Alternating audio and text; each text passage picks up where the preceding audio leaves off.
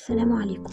أهلا وسهلا على كل حبايبي. أسرة قناة عالم منوعات منوريني دايما منورين قناة عالم منوعات جايبالكم النهاردة حلقة جديدة حلقة فريدة من نوعها.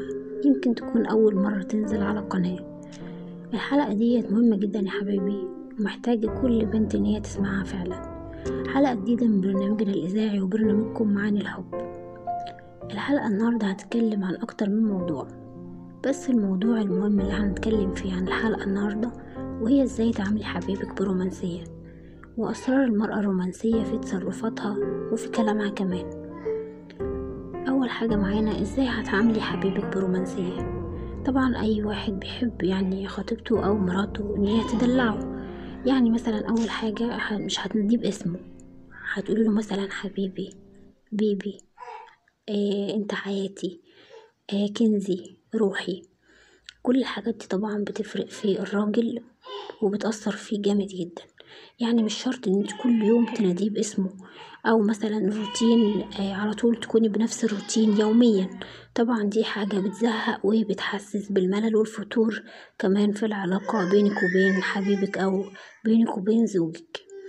طيب ممكن انت تعملي إيه كمان عشان تجذبي آه تجذبي زوجك ليكي؟ تعملي إيه كمان؟ ممكن تسيبيله مثلا رسالة حلوة كده الصبح هو في الشغل تعبري بيها آه، عن مشاعرك تقول له مثلا قد إيه أنت وحشتني قد إيه أنا مشتاقة لك مثلا في الوقت ده. آه، مشتاقة لك جدا وأنت بعيد عني. يا ترى أنت فاكرني؟ يا ترى أنا جيت على بالك النهاردة كده وأنت قاعد في الشغل مثلا؟ قد إيه الحاجات دي طبعا بتفرق كتير جدا جدا في قلب الراجل وعلى طول بتخليه دايما إن هو مشتاق لك وبتخليه إن هو يفكر فيكي على طول. بتخليه حتى كمان إن هو مش قادر يقعد في شغله كتير آه، مش قادر إن هو يستمر في شغله كتير عايز يرجع البيت عشان ياخدك في حضنه. عايزه أقول لكم كمان يا حبايبي بالمناسبة إن آه، الحضن ده بيفرق كتير جدا جدا آه، في حياة الراجل والمرأة. يعني مثلا الحضن ده بيحسس بالأمان بيحسس الشخص اللي قدامك أو زوجك يعني قد إيه انتي بتحبيه قد إيه هو برضه كمان بيحبك.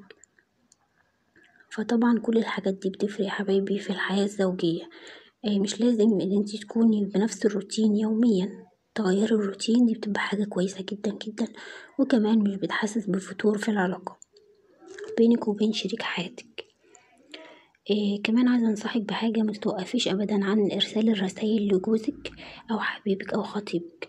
على طول دايما تبعتوله رسايل إيه الرسائل دي طبعا بتحسس خطيبك أو بتحسس جوزك قد إيه هو شاغل بالك قد إيه هو واخد مساحة كبيرة جدا في قلبك قد إيه مفيش حد تاني يقدر يملى مكانه غيره غيره هو بس.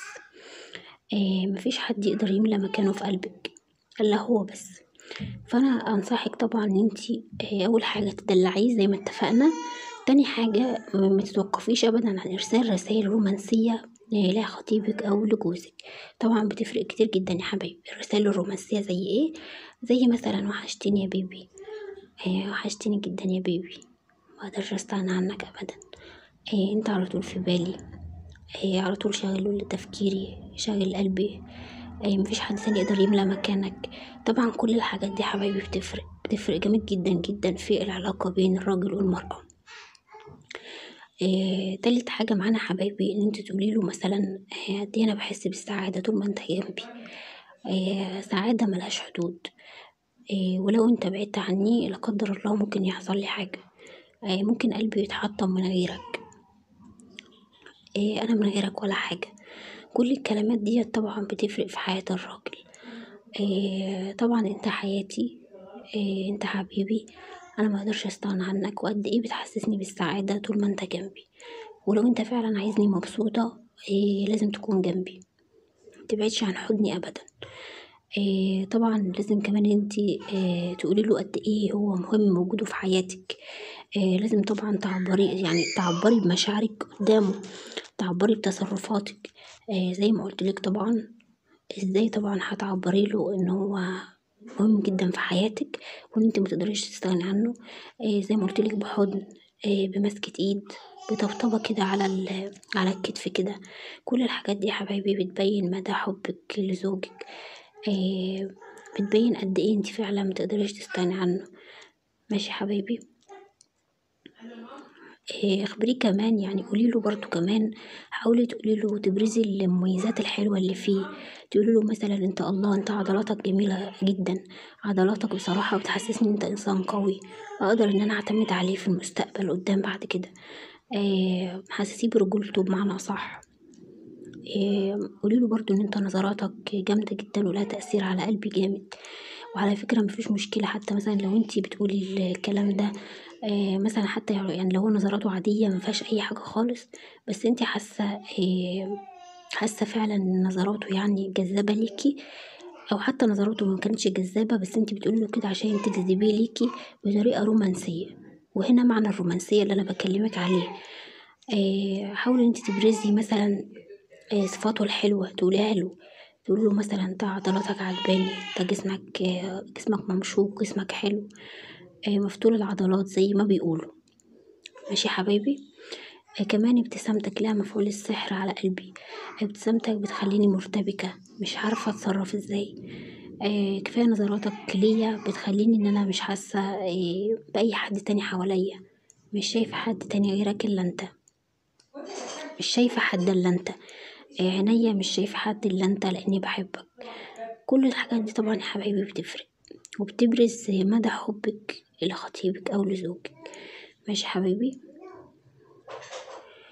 آه كمان انت لازم برضو تبينيله أو تقوليله من تصرفاتك وأفعالك إن هو الشخص الوحيد اللي انت فضلتي طول العمر تحلمي بيه. آه وطبعا انت تكوني يعني مبسوطة جدا ان انت لقيتيه وإن الحمد لله إن القدر أو يعني ربنا جمعكم ببعض في أقرب وقت ممكن. وإن انت يعني كنتي مشتاقة جدا لإن انت يعني تلاقي شخصية حلوة زي دي. طبعا كل الكلام ده يا حبايبي الكلمات دي بتفرق طبعا في حياة الراجل وبتخليه مش قادر يشوف حد غيرك مش قادر يشوف واحدة غيرك. ممكن مثلا وانت مثلا قاعدة كده انت وزوجك مثلا في لحظة رومانسية مفيش مانع برضو ان انت تغنيله تغنيله مقاطع رومانسية. أو مثلا تشغلي موسيقى هادية كده في بيتكم وانتوا قاعدين أو مثلا ممكن برضو ترقصوا رقصة حلوة كده هادية على أغنية رومانسية حلوة تبين مدى مشاعرك وحبك ليه. طبعا كل دي أفعالها يا حبايبي بتبين برضو مدى حبك لزوجك وبتبين مدى اهتمامك بيه. كل الحاجات دي طبعا رومانسية. آه ماشي. ما تركزيش طبعا في الرومانسية على حاجة معينة. الرومانسية طبعا يا حبايبي زي ما إحنا عارفين آه بحر واسع ملهاش حاجة معينة وملهاش يعني آه فكرة أفكار معينة يعني أو بتقتصر فقط على الكلمات. زي ما قلتلك زي ما قلتلك طبعا الرومانسية والحاجات دي بتبقى أفعال أفضل من الكلمات. بس أكيد طبعا الكلمات بيبقى لها مفعول السحر على قلب الراجل أو على قلب زوجك يعني. ماشي؟ زي ما قلتلك ممكن مثلا بلمسة كده حنينة تبين تبينيله إن انت قد إيه بتحبيه. حضن مثلا حضن حنين كده تحضني مثلا جامد كده تبينيله برضو قد إيه انت بتحبيه. هو أكيد طبعا هيحس بكل ده. آه كمان يا حبايبي عايزة اقولك إن طريقة الكلام مع زوجك أو خطيبك بتفرق برضو كتير. يعني الكلام الرومانسي آه بيفرق طبعا كتير في حياة أي راجل. ماشي يا حبايبي؟ آه لازم طبعا إن انتي متركزيش على زي ما قلتلك على فكرة معينة لأن طبعا الرومانسية ملهاش حاجة معينة. آه انت طبعا مش ملزومة إن انتي يعني إيه تركزي على آه على حاجة معينة يعني. ممكن تقوله مثلا أنا دلوقتي حاليا متخيلاك في بالي آه رسمة ليك صورة جميلة جدا في بالي. آه انت مثلا لون عينك آه فيه بريق كده حلو آه بيحسسني بمدى حبك ليا. كل طبعا الكلمات دي بتفرق. على فكرة حتى لو هو مثلا آه مفيش الكلام دوت في عينه كده انت ممكن تقوليله كده عشان بس تجذبي ليكي. ماشي؟ بطريقة برضو رومانسية. كل الحاجات دي طبعا يا حبايبي بتفرق جامد جدا. وكمان عايزة أقولك على حاجة حاجة مهمة جدا الابتسامة برضو لها مفعول السحر.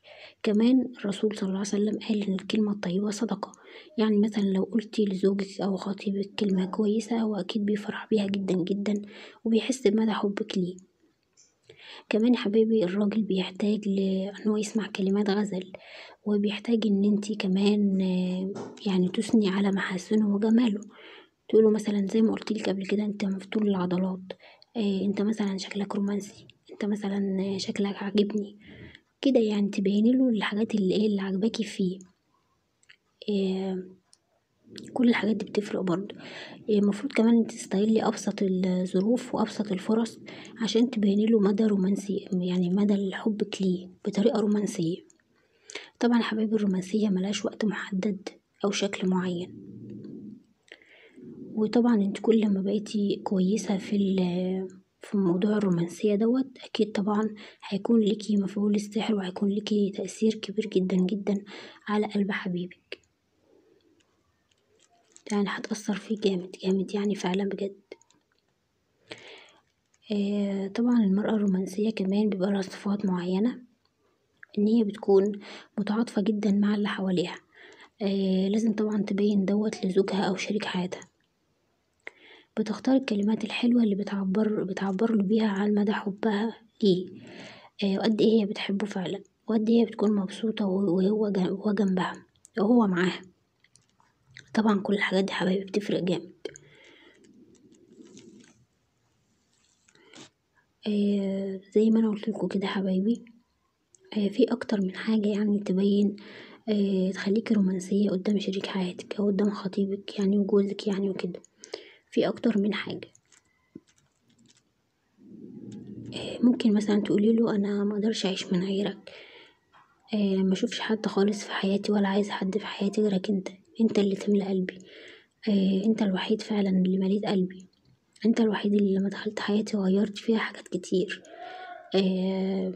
حسيت إن أنا مقدرش إن أنت إن أنا مقدرش أعوضك بحد تاني. إن أنت ملكش بديل بمعنى أصح.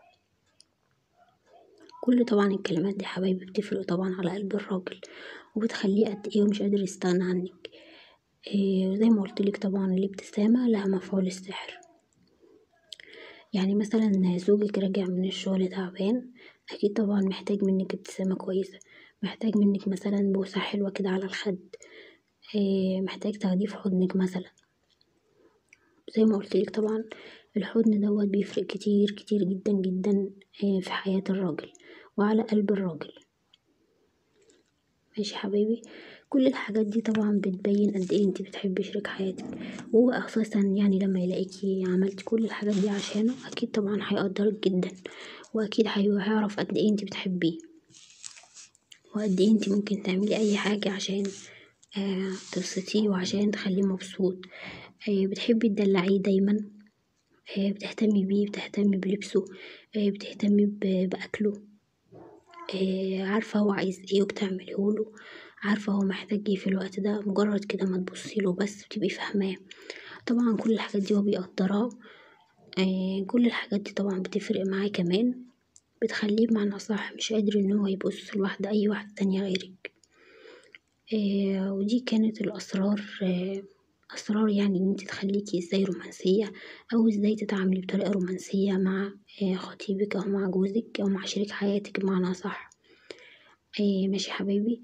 أهم حاجة بس زي ما قلتلك الابتسامة. الابتسامة مجرد بس ما تبتسمي كده أكيد طبعا بيبقى لها مفعول السحر. إن هو مثلا ما يرجعش من الشغل يلاقيكي مكشرة يلاقيكي زعلانة من حاجة. آه كل الحاجات دي طبعا بتفرق جامد جدا جامد جدا يا حبايبي. آه وزي ما أنا قلتلك طبعا لازم تدلعيه تعملي له اللي هو عايزه. آه متحاولش إن أنت تضايقيه مثلا. حتى مثلا لو هو متعصب وكده تحاولي إن أنت يعني تبعدي عنه في الوقت ده. أكيد طبعا كل الحاجات دي بيكون شايلها لك